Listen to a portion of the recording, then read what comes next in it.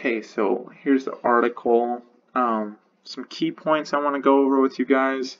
I'm going to give you a little example of what I'm looking for. I, I believe you guys should all have the link to this article. Um, I'll post it in the chat, and if you all wouldn't mind getting on here, kind of reading through it with me.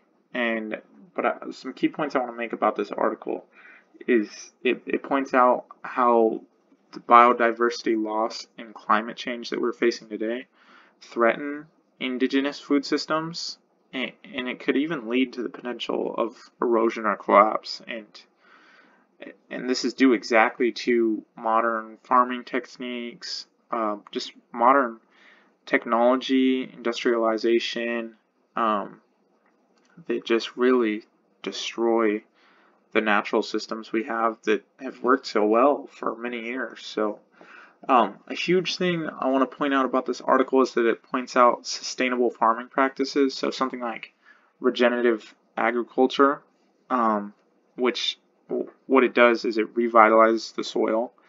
It also sequesters energy and offsets greenhouse gas emissions, which if you think about modern farming today is almost the opposite of what it that does. I, some of the practices, I actually just saw a video today growing corn um, in America, we use a, a lot of nitrogen in it to get it really green and get it, uh,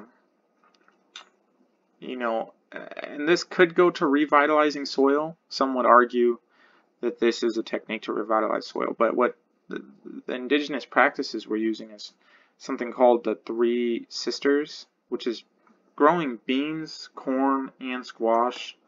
Um, all together, which is a huge help in revitalizing the soil. Let me see if I can pull up a picture for you guys.